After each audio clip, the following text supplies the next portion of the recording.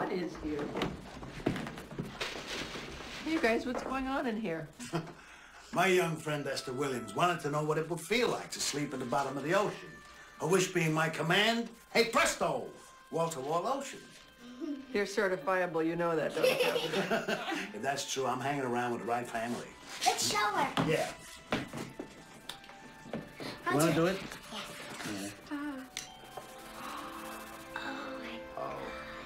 it? Oh neat. It's beautiful. How's that sitting on the bottom of the ocean? Flying fish and everything. Wow. It's good. Oh, dinner! Dinner! Let's eat. I'm so hungry. Oh.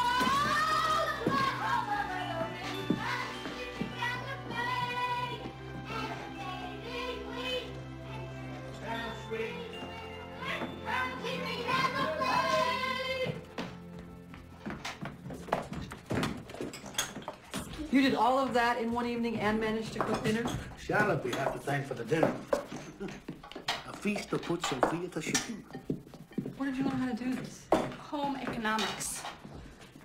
Well, if the way to a man's heart is through his stomach, I guess there's hope for you yet, Charlotte. Personally, I've never found that to be true. Mom, Yeah? what do men care about? AstroTurf. Well, according to Lou, it's going to ruin baseball, not to mention the whole civilized world as we know it. So if you ever want to have a boyfriend, I suggest you start caring about it too. Mom, Yeah? why don't you marry Lou so he can be our dad? We already have one, Katie. Well, I've never seen him, and he wouldn't make me an ocean. Could we sleep over? No. Please. No! Please. All right, I'll think about it.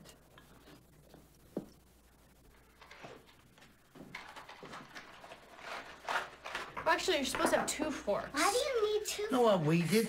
If we used the wrong fork or spoon when I was a kid, What? we had to go out back and stick them in the ground. Even if the ground was frozen solid. We used to call it the hardware garden.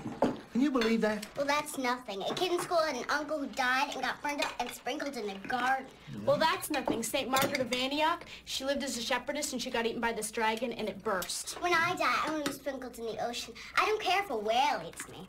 I could live inside a whale like Jonah with an angel guard. Girls. Yeah, well, what if you get a whale that doesn't have a living room inside and, and you end up in someone's tuna fish sandwich? Who are these people? Once a man came to dinner and took a shirt off of the table, like we were running a nudist colony. Oh, I remember him. He was the one who kept yanking quarters out of your ears. Why did he take his shirt off? Uh, I think he didn't want to spill his dinner on it or something. That's for the cranberry sauce, I want some chicken. What's happening here? What usually happens when families sit down to a civilized meal together? They talk. Cranberry? Cranberry sauce? Yes, Hey, please. who wants some chicken? I do. Oh, I love some. Got it?